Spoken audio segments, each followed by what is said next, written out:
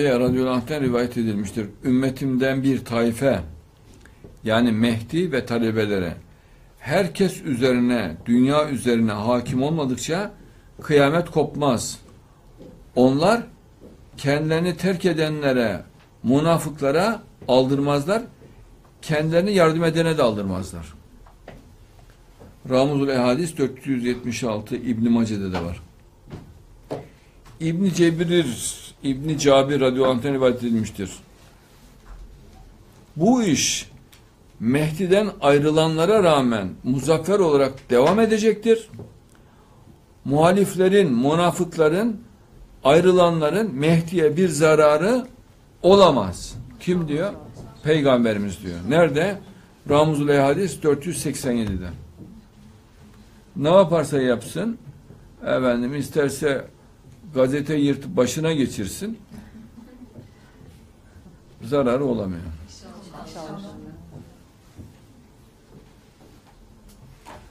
Abdullah bin Ömer bin Hattab Resulullah sallallahu aleyhi ve sellem'den şöyle ferman ederek buyurdum.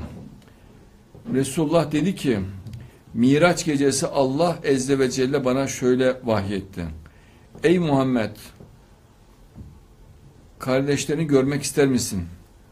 İsterim ya Rabbim dedim. Şöyle, Allah şöyle buyurdu.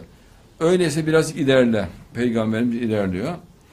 Biraz ilerleyince Ali bin Ebu Talib'i gördüm. Sonra Hasan, Hüseyin, Ali bin Hüseyin, Muhammed bin Ali, Cafer bin Muhammed Musa, e, Muhammed, Musa bin Cafer, Ali bin Musa, Muhammed bin Ali, Ali bin Muhammed, Hasan bin Ali ve Hüccet, Kaim, Muhammed Mehdi'yi gördüm.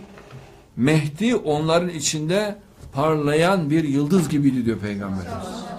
Bak bu kadar insan içinde parlayan bir yıldız gibiydi. Dedim ki ey Rabbim kimdir bu gördüğüm kişiler? Allah şöyle buyurdu. Onlar imamlardır. Ee, bu da diyor bu kişi de kaim Muhammed Mehdi'dir. Helalime helal edecek, haram ise haram edecektir. Düşmanlarımdan da intikam alacaktır münafıklardan ve kafirlerden. Ey Muhammed onu sev diyor. Allah. Çünkü ben Mehdi'yi seviyorum. Allah Mehdi'yi e, bak çünkü ben Mehdi'yi seviyorum. Mehdi'yi seveni de seviyorum. Maşallah. Kim diyor? Şeyh Muhammed bin İbrahim Numani Gaybetü Numani sayfa 97 1200 yıllık kitap. 1200 yıl, kaybolmuştu bu kitap. Bir mağarada bulunmuş. Allah'a hamdolsun. Gaybetü Numani bak 1200 yıl önce kaybedilmiş. Mağarada buldular. Ondan sonra tabi her yerde çoğaltıldı elhamdülillah